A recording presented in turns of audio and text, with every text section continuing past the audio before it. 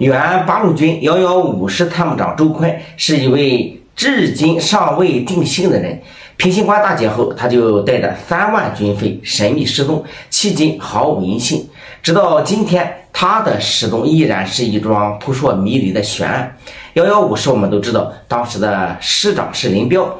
周坤从一九二七年开始就跟随毛主席闹革命，是我党一位资深的老党员。他参加过秋收起义、井冈山革命根据地的建立，以及红军两万五千里的长征。周坤工作能力非常强，干事积极认真，思维缜密，是我党工作上的一把好手。他开始只是一个小队长，但是仅过了三年就成为了军长，连升五级，可见组织对他是多么的看重。这时的周坤。资历出众，能力出众，威望出众，与当时的林总、彭总完全有一拼，可以说是前途无量。然而，到了一九三八年，却发生了一件谁也没有想到的事情。当时，身为幺幺五师参谋长的周坤突然神秘失踪了。事情的经过是这样的：同年二月的一天，周坤开完会后走出总部，他对警卫员说。这个挎包里有重要文件，需要立即交给王炳章科长。警卫员接过挎包，敬了一个标准的军礼后，转身去找王科长。也就是说，从这一刻起，部队中再也没有人见过周参谋长。开始大家还以为周参谋长有紧急事情没有来得及打招呼，处理完就会归队。数天后，上级终于察觉到。事情没有大家想的那么简单，于是派出大量的人手去寻找，结果却是毫无音信，一个大活人就这么人间蒸发了。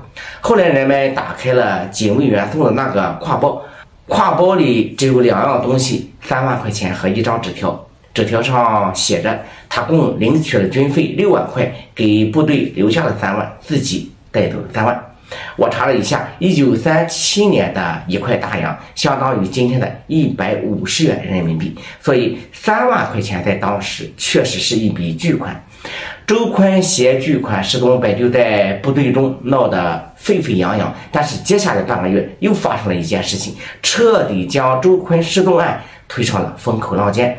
一九三八年三月二日，幺幺五师的师长林彪遭国军枪击。差点命丧当场，多亏救治及时，保住了性命。以后又去苏联治疗，始终无法痊愈，就留下了顾忌。强悍的幺幺五师两位最高级将领，在如此短的时间内，一人失踪，一人重伤，使得幺幺五师战斗力大打折扣。这就很难使人不把这两件事联系起来。那这两件事到底有没有联系呢？是巧合还是人为呢？周坤神秘失踪的真相又是什么呢？这件事我们的人一直在调查，但是却始终没有结果。对于周坤所做出的贡献，我们给予了充分肯定。但是由于其失踪后去向不明，真相未知，我们也不好凭猜测妄加推论。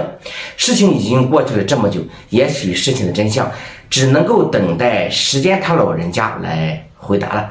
好了，本期视频就到这儿。我是铁锅，一个敢说真话的中国人。感谢大神们的关注、点赞和转发，我们下期视频见。